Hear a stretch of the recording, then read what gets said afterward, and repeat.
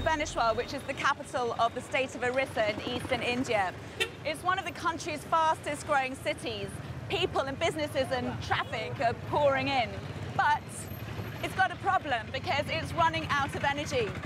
I'm Amanda Burrell, and I've come here to find out about the measures that are being taken to solve this power crisis.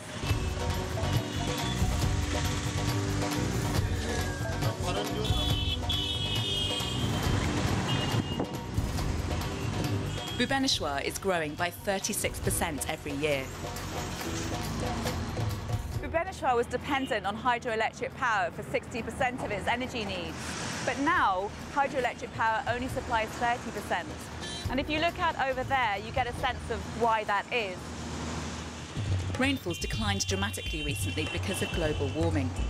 The last good monsoon was five years ago. And the situation got so bad that frequent power cuts had to be imposed.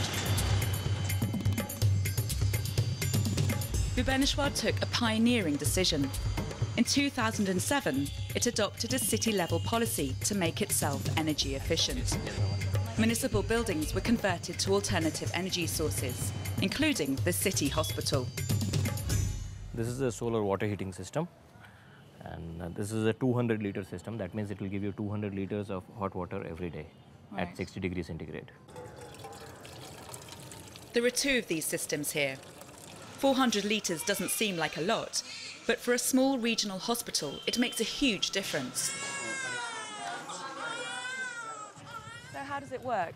we have water running through these copper tubes and uh, when this is exposed to sunlight the copper absorbs heat that is transferred to the water. Hot water being lighter moves up.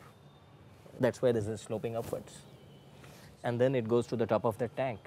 Cold water being heavier is at the bottom of that tank and it comes back into the system to the bottom of these collectors. You don't need any pumps to circulate. It is just by gravity. Heavy rain can prevent this system from working. But now that the monsoons pour, that's not so much of a problem. Oh, it's hot. There are also 25 solar photovoltaic panels. And these power lights, fans, and a vaccine fridge. How many vaccines can it store at one time?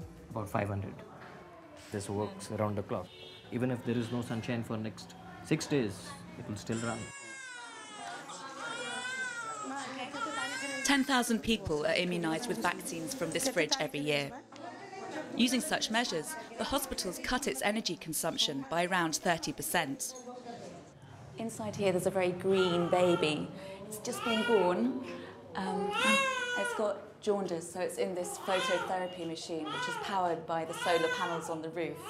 This system is not only eco friendly, but it's much more reliable than before. Very little. Bhubaneswar didn't stop at public buildings. It took its mission to be energy efficient onto the streets, and especially to the city's tens of thousands of market traders. They were using a lot of uh, those uh, incandescent tube lights and 100 watt or 90 watt bulb. So we told them and we changed the entire lighting system into 14 watt or 18 watt CFL bulb. CFLs are compact fluorescent lights. These ones use a fifth of the energy of conventional bulbs, and they last around 10 times longer. When you consider that there are 100,000 traders in Bhubaneswar, then that's a big difference.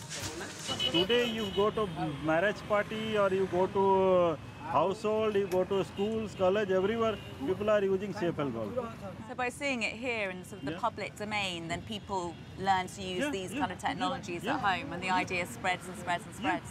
एक kilo चाहिए एक kilo ठीक धन्यवाद ball लगेला पर तुमर व्यापार केमती बढ़ला कि पैसा कम खर्च है से विषय कह पैसा तो कम खर्च है आम पैसा सेव है आट्राक्शन है आट्राक्शन आउ ब्यूटीफुल कितना 50 50 1 kg 50 rupees oh can i borrow 20 i don't have 50 no you give it mother namaste, namaste. The city is also turning its attention to other kinds of lighting. This stretch of 1.1 kilometers is actually lit by uh, LED-based lighting system. So this is uh, the very first project in our state, and we're very proud of it. These lights use 60% less energy than the conventional bulbs previously used. If you look at the city as a whole, there is a potential to save a huge amount of energy and you know, be that much more environment friendly.